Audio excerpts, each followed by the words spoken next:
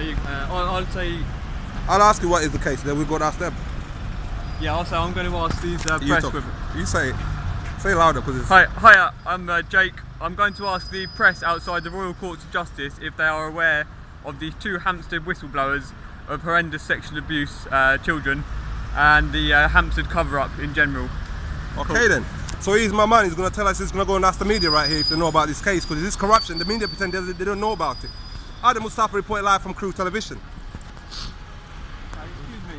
Um, are you aware of the Hampstead whistleblowers of uh, child abuse, the Hampstead cover-up?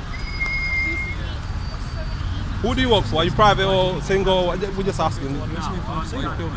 Are you working for a company? You're not single. No, I was just wondering who knows about this case because there seems to be some. that way.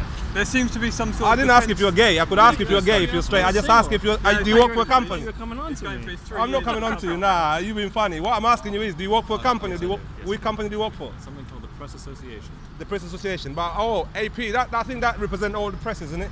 No, no, no, no, no. It's not. Oh, you from the press? AP? Are you from AP? PA, I mean. Yeah.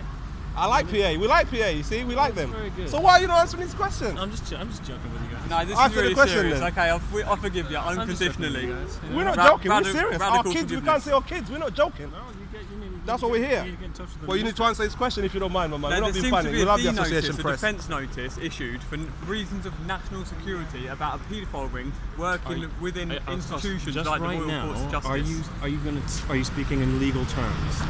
He's a human I- being. He's a I freak. don't understand He's not speaking legal terms. Okay, layman's terms. There is there is a, a paedophile ring that That's not on the is sub, by the way. infiltrated Yes. police, judiciary, uh, social services, and even schools, as you could possibly imagine, in a very rich area of Hampstead. Mm-hmm. Uh, it's known as the Hampstead cover-up. The two Hampstead whistleblower angels, children, a nine-year-old girl and her eight-year-old brother. Mm-hmm. Uh, just wondered if people. I mean, I'd like to ask these people. Ask the other. You I- asked I him don't already. know. I mean, you I'm don't not- know. That's don't- fine. yeah. Thank you for your What's your name, by the way? nice to meet you, Jonathan. All the best to you. That's all it is. Excuse me, can I just get um, we've got, got to go into court, but um, is anybody aware of the Hampstead cover-up, the Hampstead whistleblowers of uh, child sexual abuse?